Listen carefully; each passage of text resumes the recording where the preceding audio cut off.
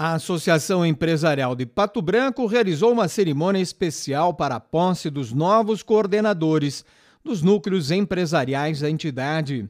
Lideranças empresariais estiveram na posse prestigiando os núcleos, destacando a importância das ações realizadas. Os núcleos são para nós a capilaridade do nosso sistema, né? Então eles são é, a forma com que a associação consegue se, de certa forma, infiltrar né, na sociedade e, e poder né, é, é, exercitar, sim, a, a arte da, do, do, empresariado, né, patobranquense, e de uma forma lisa, transparente, né, é, de uma forma que a gente consiga levar, sim, uma cultura empresarial para a comunidade patobranquense como um todo. O coordenador do Sebrae Sul Paraná, César Colini, disse que o trabalho dos núcleos fortalece a atividade empresarial através da união e interação dos empresários. Um trabalho importante para ajudar a organizar os setores. Os núcleos sempre tiveram essa relevância na associação empresarial.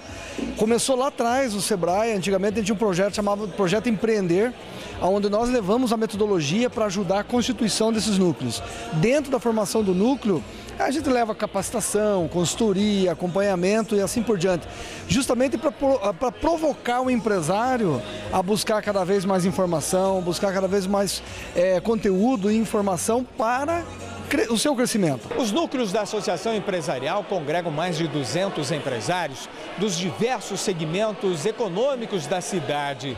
Através da atividade dos nucleados, são realizados eventos empresariais, cursos, treinamentos e as atividades que movimentam o setor empresarial a cidade de Pato Branco. Tem muitas ações que vão ocorrer esse ano, com todos os núcleos. Começo do ano a gente fez um planejamento com cada núcleo, tivemos reuniões com cada núcleo para organizar junto com a CPB e essas ações e proporcionar mais eventos aqui para a cidade. Entre os novos coordenadores dos 12 núcleos também está o corretor de imóveis Claudinei Gilioli, que assumiu o núcleo dos corretores imobiliários. Para ele, integrar um núcleo empresarial é uma oportunidade de crescimento pessoal e ampliação da rede de negócios. Já faz um ano que eu participo do núcleo dos corretores imóveis, né? E agora estou assumindo. Mas nesse um ano que eu fiquei, a gente pode fazer muito pelos corretores, palestras, ações sociais para a comunidade também.